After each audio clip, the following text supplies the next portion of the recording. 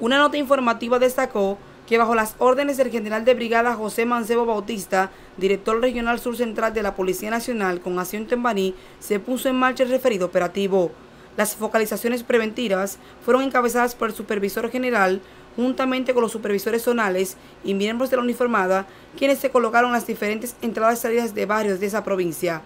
El resultado de esta jornada preventiva dejó como saldo 438 personas requisadas y despachadas, 7 personas detenidas para fines de investigación, 183 motocicletas chequeadas y despachadas, 32 retenidas por distintas faltas, 86 vehículos chequeados y despachados.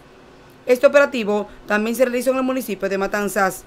Esa requisa la encabezó el comandante del departamento, el capitán Orlando Pula Germán, supervisor zonal, conjuntamente con el primer teniente Roberto Aquino Madé, comandante del destacamento de Matanzas y varios miembros adscritos a esta dependencia. Los resultados fueron los siguientes.